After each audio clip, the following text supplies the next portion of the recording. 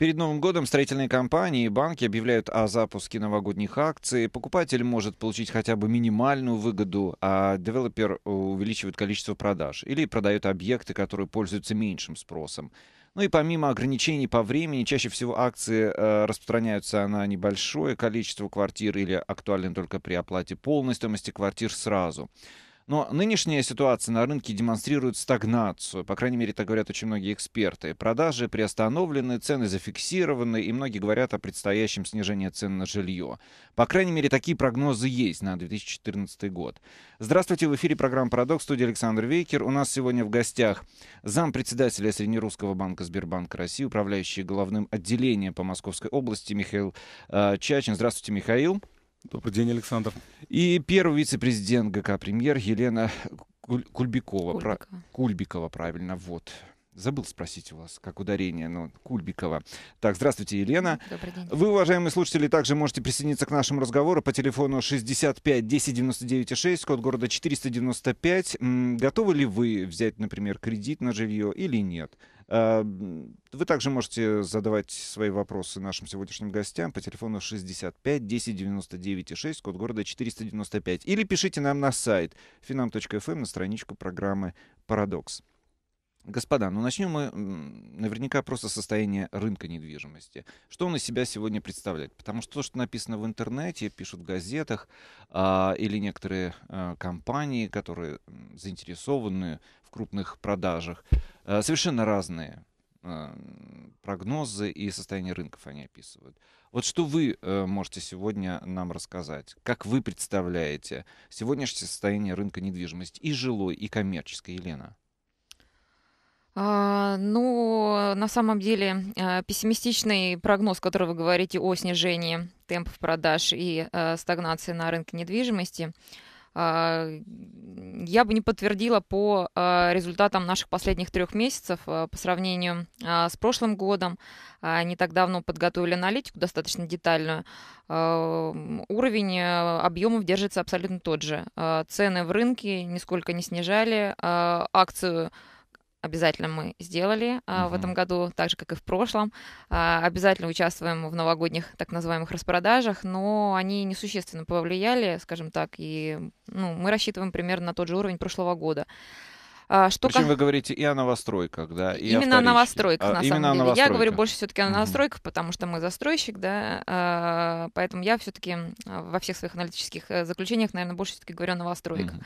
Вторичный рынок мы смотрим, читаем со своими партнерами а, из МЕЛь недвижимости, из НДВ, они нам периодически дают заключения, но все-таки мы на них э, не очень ориентируемся, на- нас больше интересуют новостройки. Вот. а, Что касается следующего года, а, у нас а, очень э, неплохие прогнозы по следующему году. Связано это, я именно говорю про Московскую область, про наш регион. Связано это с тем, что наша не буду называть ее новой, текущая власть, а, нынешняя власть, э, делает очень большой акцент на комфорт пребывания. А, Конечно, мы имеем определенные экономические а, моменты, связанные с э, социальными нагрузками, которые нам рекомендует Мгм. а, а, нынешняя власть. Но это нам дает понимание, что все-таки жилье а, в Московской области будет более комфортное, будет а, доступность а, к жилью, а, будет инфраструктура, потому что все-таки детские сады, школы это очень важно. И э, на сегодняшний день направление, наверное, э, хотя всегда это остается, что Запад э, это вкусно, э, юг, юго-запад, да, а восток похуже, ну, соответственно, все из-за транспортной Вкусно доступности. еще и север. Север, ну, конечно, север это вкусно, это бесспорно вкусно, особенно с текущими расширениями северных э, трасс, да. А, Вот, э, очень большое внимание э, обращается на социальную э, нагрузку, да, скажем, для нас это нагрузка, но это, это сбыт Некая социальная ответственность бизнеса. Социальная ответственность бизнеса, безусловно, понимаете, не будет продаж, если не будет комфортно жить людям. Ну, А, Детских садов, школ, магазинов, Конечно, э, сфер услуг, абсолютно, да. транспортная доступность. Поэтому говорить, что мы построим много-много домов и не построим при этом социальную нагрузку, мы их просто не продадим, понимаете? Ну, сейчас уже рынок достаточно а, наполнен для того, чтобы а, выдерживать нормальную конкуренцию. Мгм. Поэтому Михаил, что вы скажете по поводу рынка? Ваша оценка? Ну, наша оценка такая очень разная в этом смысле. Рын, рынки Подмосковья делятся как минимум на три крупных блока. Uh-huh. Это жилье, которое сейчас так активно мы пообсуждали, буквально две минуты. Есть один очень большой рынок складской недвижимости и все, что называется коммерческой недвижимостью. Это торговые центры, офисные центры uh-huh. и так далее. Каждый рынок э, характеризуется отдельными тенденциями и живет совершенно по-разному. На эти рынки влияют совершенно другие политические ветра, что называется. И я попробую в двух словах э, характеризовать эти движения, как мы их видим. Э, касательно э, складской недвижимости, э, процессы сильно изменились по отношению к прошлому году, исходя из нескольких принятых э, правительством Российской Федерации решений, в том числе и Вы имеете в виду в худшую сторону? В лучшую. В лучшую, в лучшую для Московской области. Uh-huh. Что я имею в виду? Принято решение о строительстве э, ЦКАДа, принято решение по передвижению грузовиков по МКАДу, угу. что за собой тянет, э, соответственно, крупный спрос. Этот спрос э, серьезно давит на рынок и выглядит э, ростом, как мы видим, потребности в площадях класса А складов э, приблизительно до 50%. Вот буквально этот год и еще, может быть, следующий. Угу.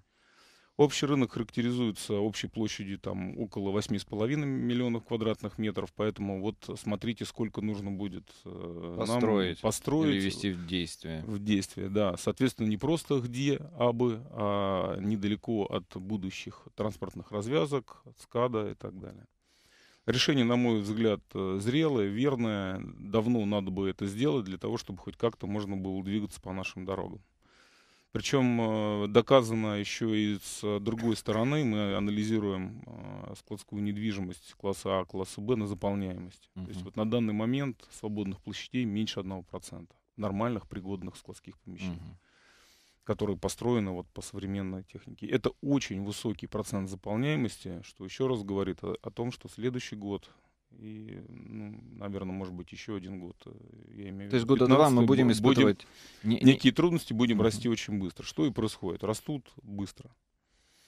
Теперь касательно коммерческой недвижимости, офиса, все, что с ним связано. Здесь тоже есть некоторые там структурные изменения. В первую очередь это новая Москва, которая много чего продекларировала. Анализировать в этом смысле достаточно сложно, потому что была идея построить там и парламентский центр, и правительственный центр, и все очень широко обсуждается. Многие фирмы и коммерческие предприятия заявляют о строительстве там, большого количества э, торговых центров и офисных площадей, но подтверждается, что называется, слабо.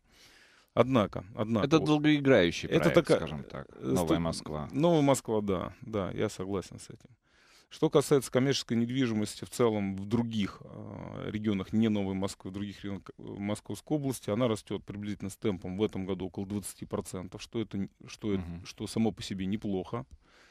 А, общий показатель. Растет в каком сегменте? Продаж или аренды? Строительство, Строительство. в первую очередь, и сдача в аренду. Угу. Вот, значит, у нас э, на территории Московской области около 90 торговых центров, которые соответствуют ну, качественным критериям. Я не беру очень мелкие э, и так далее. Вот, за этот год будет возведено еще 11. То есть в штуках 10, в площадях э, около 20-22%, соответственно, в деньгах также. Э, прибавим в этом году, ну вот, э, что-то около, там, я не знаю, 800, может быть, 700 тысяч квадратных метров. Это интересно, это интересно и это нужно для москвичей и Подмосковья. С офисами, вот я еще раз вернусь к этому вопросу, ситуация такая сложная, непонятная. А, пытаются многие компании объединять а, коммерческую недвижимость с офисной, вот есть такие проекты, но растет медленно. Пока mm-hmm. нет, нет решений никаких по там, правительственным перемещениям и так далее.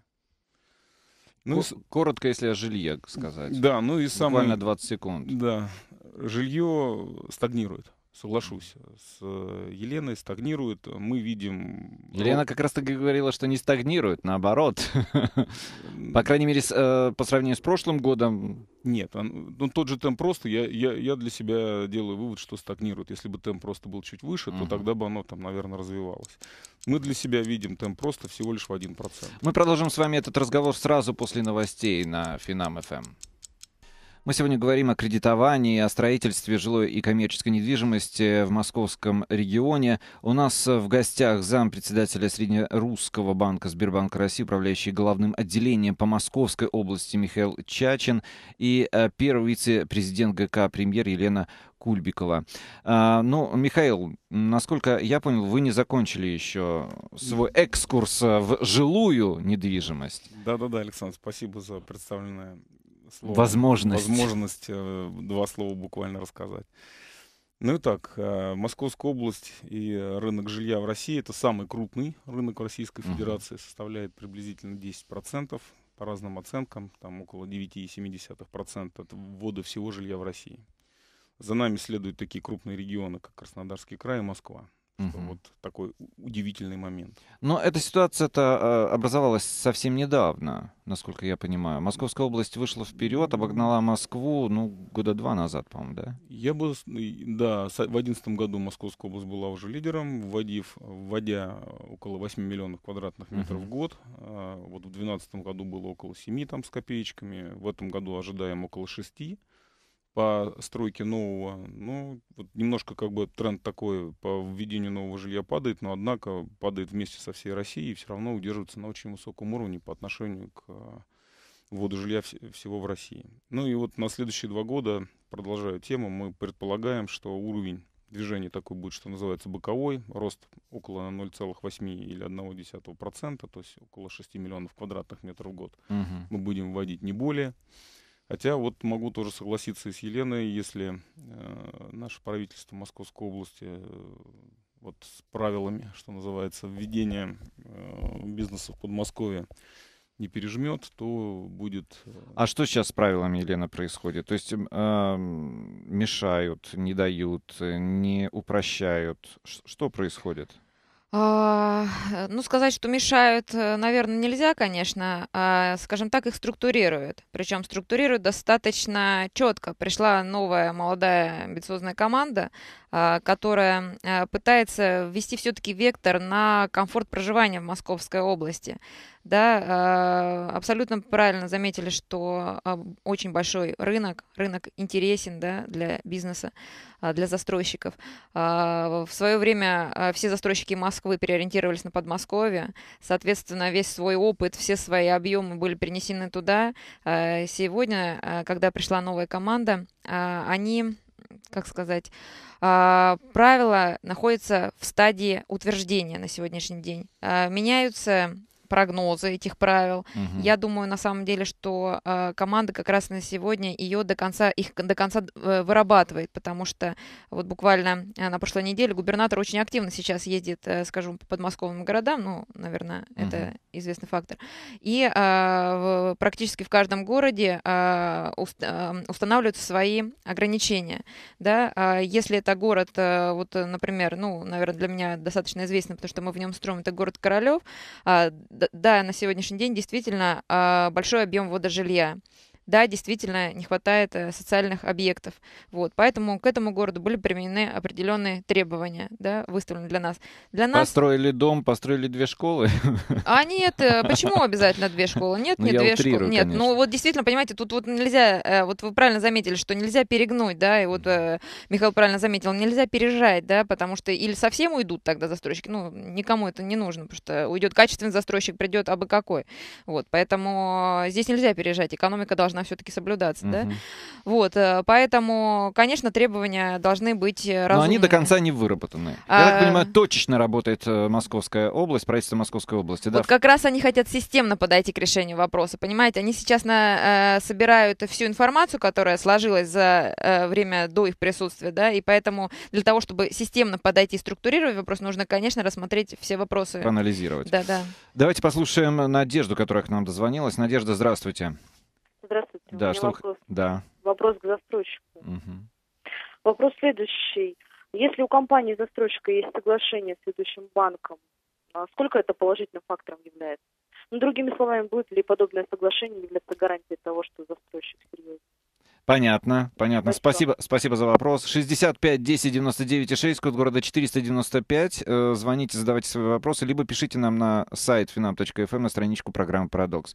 Кто из вас начнет? Ну, я, наверное, коль застройщику вопрос сказали, Да, да? да. Надежда, спасибо огромное за вопрос.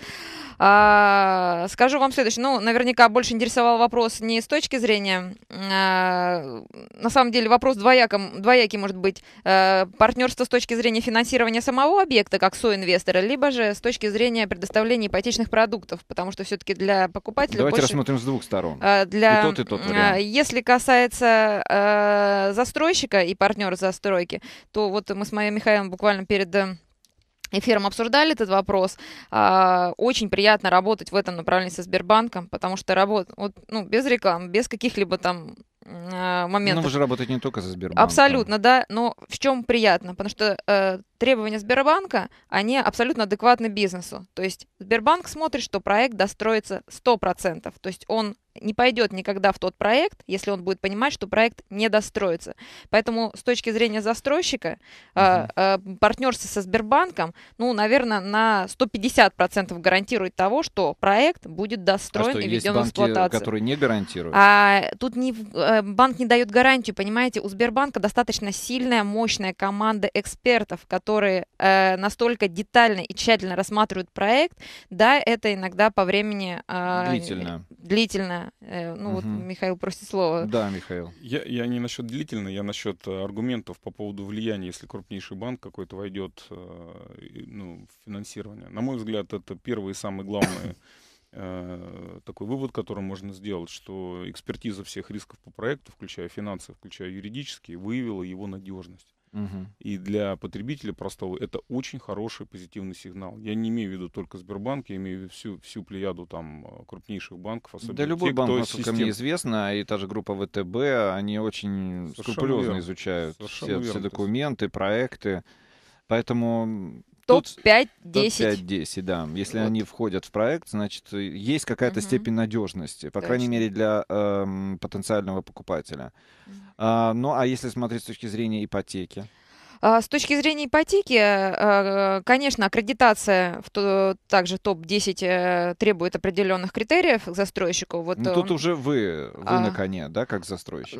Мы на коне, конечно. Но вот э, Сбербанк, тот же, обращаясь к нему, если, да, э, все, бесспорно, они, дают, они игроки на рынке ведущие, они дают очень хорошие условия. Есть банки, которые также сейчас агрессивно входят в рынок, да, они тоже дают хорошие условия, но Сбербанк в менталитете наших людей, особенно это, ну, наверное, Московская область, немножко не Москва, все-таки это Мгм. Московская область, да, остается ведущим банком. И поэтому отсутствие поручителей по нашим для нас, э, для нас является достаточно хорошим критерием, да, то есть что Сбербанк не требует поручительства по нашим, при выдаче ипотеки по нашим продуктам.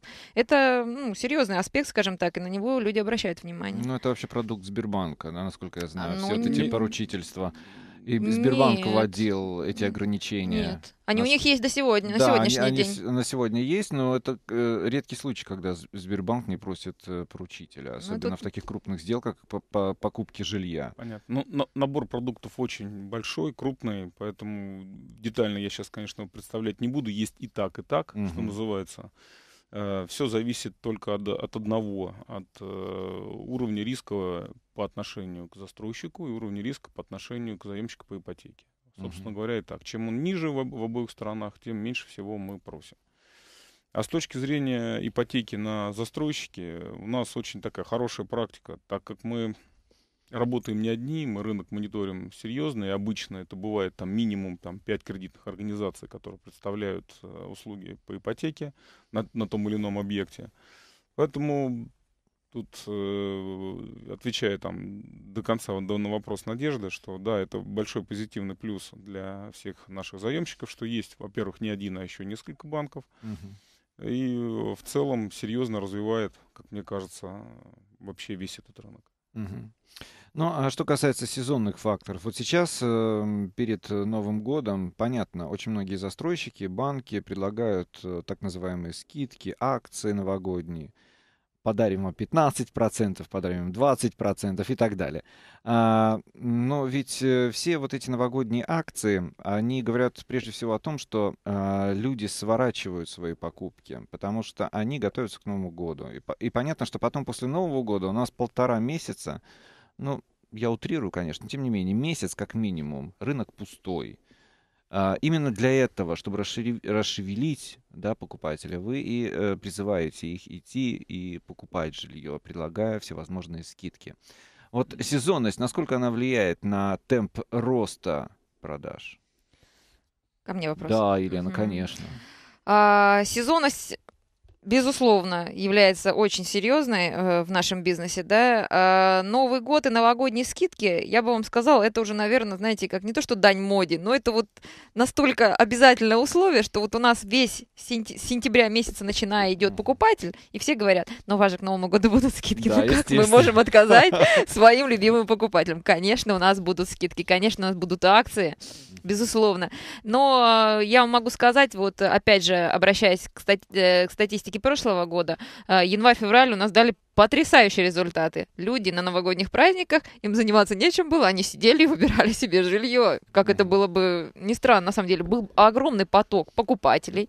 В этом году э, э, ваши скидки побьют рекорды или нет? Ну, это зависит от объекта, конечно, у нас на каждом объекте свой э, подход ну, коммерсантов. Средняя скидка какая у вас? Знаете, достаточно диверсифицирована в зависимости от ликвидности жилья. Если это однокомнатная квартира, это одна скидка. Если это трехкомнатная, ну, очень все зависит от рынка, да, то есть, uh-huh. если на сегодняшний день у нас дальше большой объем трехкомнатных квартир, конечно, мы дадим хорошую скидку по трехкомнатной А коллекционировать квартире. бонусы можно? Все ваши скидки, плюс еще и ипотека. Вообще замечательно. А, у нас индивидуальный подход. Понятно, понятно. Ответа практически нет. Индивидуально нужно приходить просто и спрашивать. Да? 65 10 99 6, код города 495. А, задавайте свои вопросы нашим сегодняшним гостям. Говорим мы сегодня о рынке жилья, а также о рынке коммерческой недвижимости. Если вы вдруг надумали построиться, например, или приобрести жилье, любые вопросы можете задавать нашим сегодняшним гостям без купюр. Или пишите на сайт finam.fm на страничку программы «Продокс». Мы продолжим разговор сразу после новостей на Finam.fm. И мы продолжаем разговор о строительстве или о покупке жилой или коммерческой недвижимости в московском регионе. У нас сегодня в студии зам председателя Среднерусского банка Сбербанк России, управляющий главным отделением по Московской области Михаил Чачин и первый вице-президент ГК «Премьер» Елена Кульбикова. Телефон в студии 65 10 99 6, код города 495, либо пишите нам на сайт finam.fm на страничку программы «Парадокс». Ну а теперь об инвесторах, да, частных инвесторах, в которых заинтересованы как как банкиры, так и застройщики прежде всего. Э, правила игры совсем недавно поменялись. А, то есть эм, а, вот э, защита интересов частных э, инвесторов, но она была первоочередной несколько лет назад. Вроде как приняли соответствующие законодательные акты, и теперь э, застройщики, работая с потенциальным частным инвестором, ну, находятся, может быть, даже в более выигрышной ситуации, насколько я так понимаю. И сам э, инвестор защищен. А вот мои вот эти ощущения, они правильные, Елена, или нет? А, ну вот что вам могу сказать по поводу частных инвесторов. Часто а, наши а, соинвесторы на сегодняшний день, как мы их называем, которые приходят к нам покупать квартиру, их а, процент растет. А, к концу года, да, ну, опять же, по статистике, приходят, покупают по 2, 3, 5, по 10 квартир покупают. Это а, что касается эконом-класса, эконом-сегмента. А, стал наш покупатель достаточно экономически подкованный. Люди приходят, считают даже с э, учетом инфляции, рассчитывают эффективную ставку, смотрят на свою доходность и оценивают э, рынок достаточно неплохо. Также это связано, абсолютно правильно заметили, с изменением законодательства законодательстве, связанное с обязательным страхованием застройщиков своих mm-hmm. обязательств, которое вступает с 1 января 2014 года. А, мы будем обязаны страховать свою ответственность, да, соответственно, а, при любых форс-мажорных ситуациях а, страховые компании или банки, либо это общество взаимного страхования, членом которого мы являемся, обязательно будут э, выплачивать э, в случае э, форс-мажора соинвесторам нашим все их затраты. Как это отразится на ценах? Это самый основной вопрос, на который наше правительство говорит никак. Вот, но а что считаем... скажет застройщик? Застройщик э, считает, что если мы понесем затраты, то, ну... Так вы по-любому должны В том-то и дело, что затраты. мы понесем затраты. Э, конечно, сказать, что все это будет из нашей прибыли, ну, наверное, не совсем так. Конечно, конечно, снижая риск, снижая риск, будет повышаться цена. Это, mm-hmm. ну, вот поэтому... Ну, по вашим прогнозам, насколько она может повыситься? Э, ну, на сегодняшний день еще до конца не утвержден тариф этого страхования, да, сейчас э, речь идет о порядка 2-3%, вот, но, понимаете, тут в случае 2-3% тарифа, это снижает риск процентов, ну, достаточно намного, то есть процентов на 80 риск недостроя снижается, ну, угу потому что обязательства все-таки существенно будет рассматриваться, каждый проект под микроскопом будет рассматриваться, поэтому инвесторы сейчас очень активно идут. Вот именно а, инвесторы понимают, что они будут защищены. Ну а что, с точки зрения вот э, банковских сотрудников? Ну, как нам кажется, процесс, который вот государство активно развивает, очень верный. Он э, связан с... То есть ошибок в этом секторе пока нет? Ну, ошибки были, ошибки, э, так скажем, обманутые дольчики, да, дольщики, да, если да, вы да, говорите, да. были. И государство делает выводы, идет правильным путем, закрывая те или иные вот бреши, которые были. 214 закон, по которому наши застройщики, основная часть сейчас все строят, э, сильно защищает права инвесторов. Очень серьезно. А, с точки зрения страхования, которое будет начиная со следующего года, ну, так скажем, в совокупности с нашими правилами банка, если будем мы, как финансовая организация, на мой взгляд, сильно не приведет к удорожанию. Потому что основной принцип э, Э, который заложен у нас в кредитовании застройщиков, это обязательно достроить объект до конца. Не, не, не должно быть таких висящих, что называется, угу. пробелов. Соответственно, мы, мы, мы будем сравнивать стоимость страховки только со своими правилами кредитования. То есть мы считаем, что э, сильно не повлияет. Повлияет как-то на цену, но не сильно. Но э, любой инвестор частный, который приходит, покупает, как вы говорите, Елена, одну-две, а может быть даже пять квартир, и рассматривает, какая у него будет доходность, э, ну, он, по крайней мере, вот в этих э, всех условиях, э, которые сейчас происходят у нас в экономике, прекрасно понимает, что наверняка недвижимость не принесет ему больших э, доходов, как это было несколько лет назад. А ситуация реально действительно меняется в худшую сторону, как многие говорят. И вот этот поток инвесторов, он все-таки качественно снижается. А, вы все-таки говорите о а, доходности на вторичной недвижимости. Почему? И на новостройке тоже. Очень многие до кризиса восьмого года покупали пачками квартиры, потому что у людей mm-hmm. были шальные mm-hmm. так называемые деньги или свободные mm-hmm. деньги, да, и перепродавали потом эти квартиры, наваривая реально хорошие деньги просто потому что покупали на уровне котлована эту квартиру, а продавали уже, когда дом построенный. Цена была за квадратный метр существенно выше. Сейчас... То же самое сегодня. На котловане предлагается цена в среднем под Подмосковье может быть 60 тысяч рублей за квадратный метр. При вводе дома в эксплуатацию это минимум 90 тысяч рублей за квадратный метр. Строимость, э, срок строительства 2 года. Вот считайте доходность. То есть, э, э, но качественно количество вот этих инвесторов не изменилось? Нет, вот особенно, я еще раз говорю, и в прошлом году, и в этом году под Новый год э, достаточно большой объем. Ну, может быть, э, объем денежных э, ресурсов, ресурсов в стране под Новый год, конечно, увеличивается, но под Новый год идет достаточно большое количество Михаил, инвесторов. а вы что скажете по этому поводу? Я... Потому что у меня, э, той информацией, которой я обладаю, общаясь с разными людьми, они говорят о том, что именно вот количество этих инвесторов частных уменьшается из года в год. Я, я, Извините, я бы секунду перебью, да, вот э, вопрос по поводу, вот мы обсуждали да. в, во время э, перерыва, а, мы обсуждали связь валюты и связь вот э, да. данных инвесторов. Так вот, я вам еще раз то, что я сказала, да, все-таки в момент... А, Дестабилизации обстановки на валютном рынке, Скажем, это так, да. Договорите прямо. Сейчас это непростое время, да. Валюта наша девальвируется. Ну и что делать? А квадратные метры в Московской области всегда считали люди в долларах. Вот, поэтому ну, все понимают, понимают, что оно так и будет продолжаться. Вот поэтому наш соинвестор идет к нам. Понятно. Так, Михаил. Ну, я бы на этот вопрос пошире немножко ответил. Ну, во-первых, после кризиса восьмого года рынок, в том числе и жилищный, жилищный рынок, стал намного более зрелым.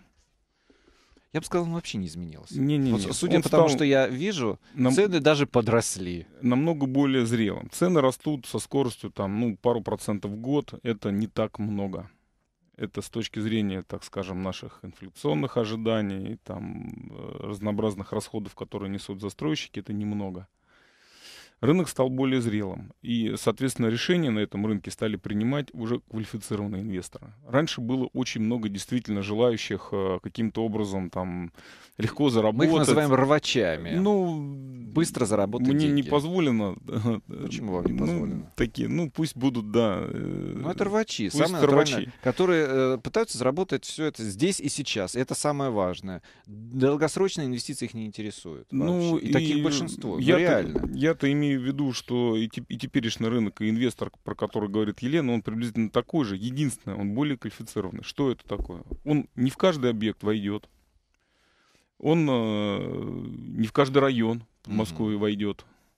Если войдет, то уже будет точно знать, что за застройщик и так далее. Раньше принимались решения намного более свободно. В принципе, всем было понятно, что от котлована до там, девятого этажа плюс там, 50% в цене. И можно было, грубо говоря, ездить там по Подмосковью, смотреть, где стоит кран, что-то такое там покупать, и было все хорошо. Сейчас все не так. От класса недвижимости совершенно точно зависит. То есть вот эконом-класс намного более привлекательный, намного более понятный, чем бизнесы, чем э, элитка. Угу. И еще более интереснее, и еще более прогнозируем, чем там, например, загородная недвижимость и коттеджи. Ведь инвестор... Это вообще отдельная это история. Да. Вообще отдельная всеми... история. И причем она кардинально отличается от многоквартирных домов. Просто кардинально отличается. Вот. Вот я про это и говорю. Поэтому вот можно так и смотреть. То есть раньше практически любой дом мог быть там продан достаточно быстро. Сейчас уже не любой. Да. Оценивается все, действительно. Какое социальное окружение. Если детский садик, если школа, если дорога, если железная дорога, а может быть метро. И так далее. Все, уже просто так ничего не нужно. Поэтому я называю этот рынок более квалифицированным и более таким повзрослевшим, повзрослевшим. Это правда, что очень многие застройщики сейчас вынуждены а, сдавать свои объекты, и особенно квартиры с отделкой, потому что спрос на а, просто коробку а, отсутствует. А, людям необходимо жилье, которое вот въехал и живешь. За это они готовы даже доплачивать. А, я могу сказать, что несколько застройщиков пытались использовать это как маркетинговый ход, но оценивая и экономику, и э, спрос на такие квартиры, наши маркетологи делают абсолютно отрицательное заключение, нет. А, Все-таки люди хотят делать, видеть свое жилье индивидуальным, даже эконом-класс. Я с этим просто сам столкнулся, разговаривая с одним из застройщиков э, в... Не буду пока говорить, чтобы не рекламировать город. А, я сам лично разговаривал, и мне было сказано прямым текстом, что мы сейчас вынуждены по каким-то новым правилам сдавать э, квартиры с отделкой. Нет, только места общего пользования, ну и соответствующие требования, которые у нас есть по СНИПу. То есть это не электрика. То есть, скорее всего, что это застройщик сам придумал для себя. Это какой-то некий маркетинговый ход, угу. который или сыграет, или не сыграет. Да? Но То вы есть... говорите, что, скорее всего, отрицательно. А, знаете, реакция. один единственный плюс, да, который вот я тоже наставила своим коммерсантам попробовать его использовать с точки зрения того, что когда человек заезжает, он не хочет слышать шум. Да. Но... И не видеть грязь. И не видеть грязь. Но я вас и уверяю, сломан, при лифт. въезде в этот э, дом 80% будут переделать свои квартиры. Да, это Тот же шум, та же грязь, да. они останутся. Экономику вы здесь не сделаете, и человек пойдет купить там, где дешевле. То есть, то, то есть, по большому счету, это не самый главный фактор сейчас. Абсолютно. То есть, это, по большому счету, до 2008 года, когда сдавались, я помню, одни коробки, и люди сами делали ремонты, а, это и сейчас э, тоже продолжается такая же. Ну вот в 2008 картина. году абсолютно правильно Михаил заметил, что когда шли покупали все там кран стоит, уже покупает. Вот как mm-hmm. раз тогда предлагали с отделкой, вот тогда предлагали под ключ кто угодно, да, а сейчас уже все-таки действительно, ну, нет, экономик там вообще нету, ни для покупателя, ни для, для продавца. Михаил, как э, кризис сказался на стоимости кредитов? Э, Потому что мы видели волну как повышения стоимости кредитов, потом как, как да. бы эта обстановка несколько э, ну, стабилизировалась. Ну, Сейчас да. мы опять на пороге очередного повышения ставок. Это так? Нет, нет, не так. На удивление, кризис, если смотреть в там, долгосрочной перспективе с 2008 года, сказался на ставках в сторону понижения.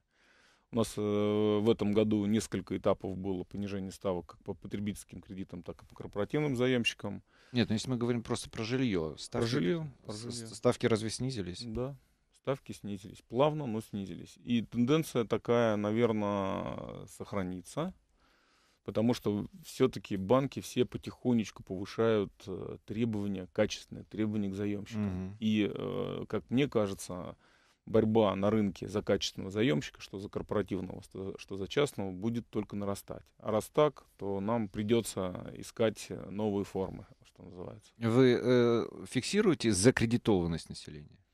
Ну, об этом сейчас не говорит только ленивый. Э, можно даже почитать там официальные отчеты с э, сайта ЦБ. Можно, можно, наверное, так аккуратно сказать, что есть некий, некий перегрев э, в области потребительских кредитов. Угу. Ну, а по поводу кредитования жилья мы поговорим сразу после новостей на, на Финам-ФМ.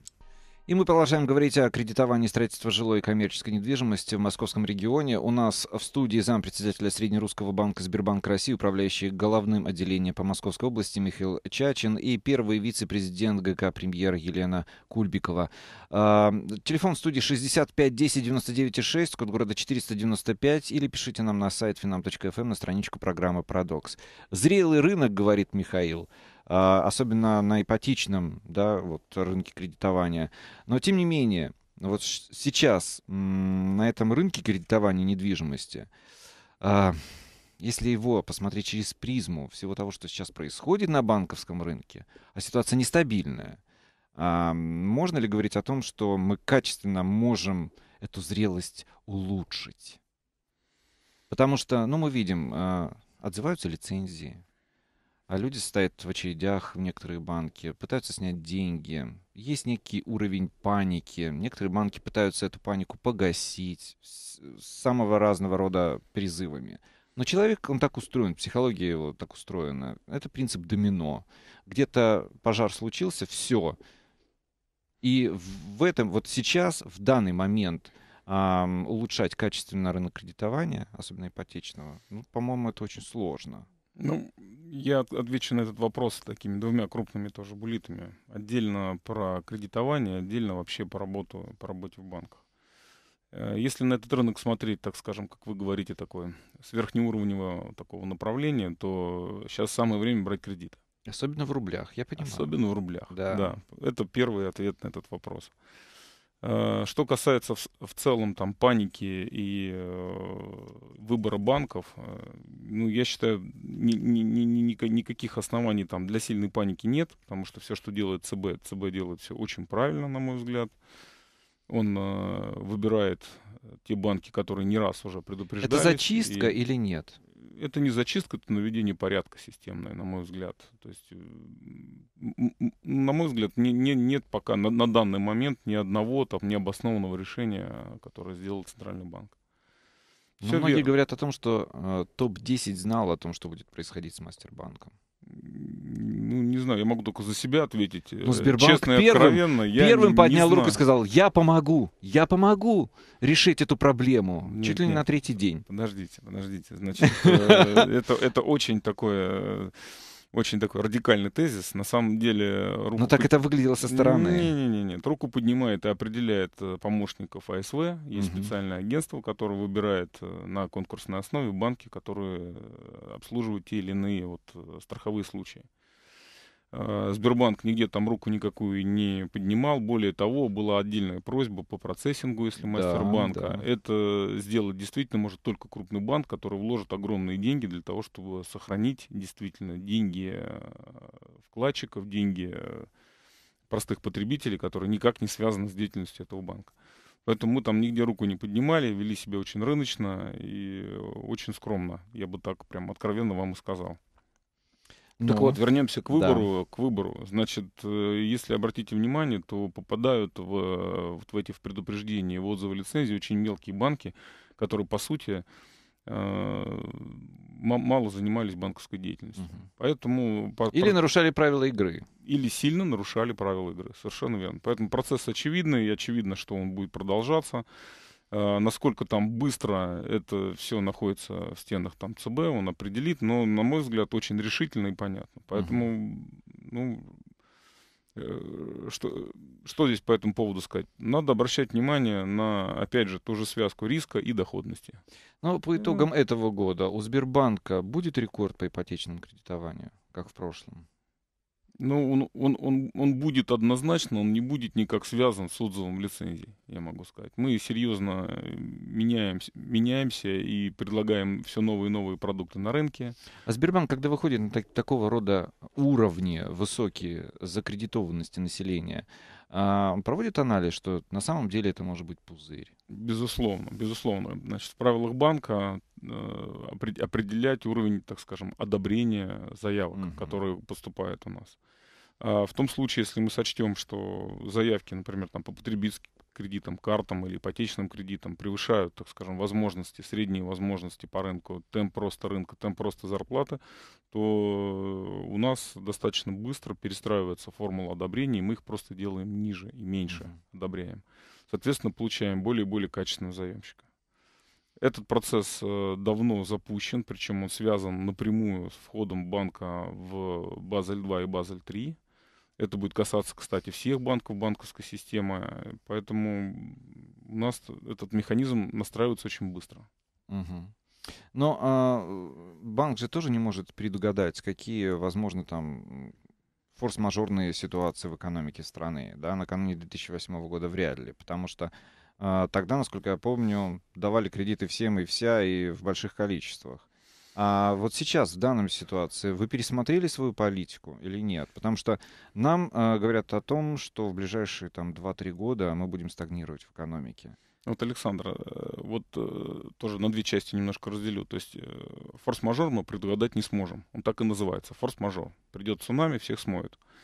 А вот э, тенденции на рынке и новые изменения мы предугадать, конечно, сможем. И э, все эти тенденции напрямую связаны с э, планированием российского бюджета долгосрочного. В нем много чего можно посмотреть и сделать mm-hmm. какие выводы. А, приблизительно на, подобных, на подобной информации мы основываемся при принятии своих стратегических решений, в том числе и международные э, движения, которые были, кстати, э, инициатором кризиса восьмого года. Поэтому мы считаем, что э, стагнация на рынке недвижимости ну, стагнация как? Будет слабый рост. Будет очень слабый рост. Процент невозврата какой?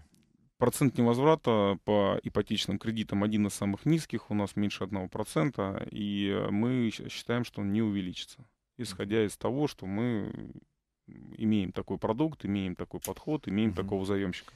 Потому что э, многие эксперты предрекают опять э, ипотечный кризис в США, который захлестнет и нас в этом плане? Вам что-то известно? Ну, про ипотечный кризис США могу точно сказать, что нет. Мне пока о будущем кризисе в США ничего не известно. Если будет, то посмотрим. Угу.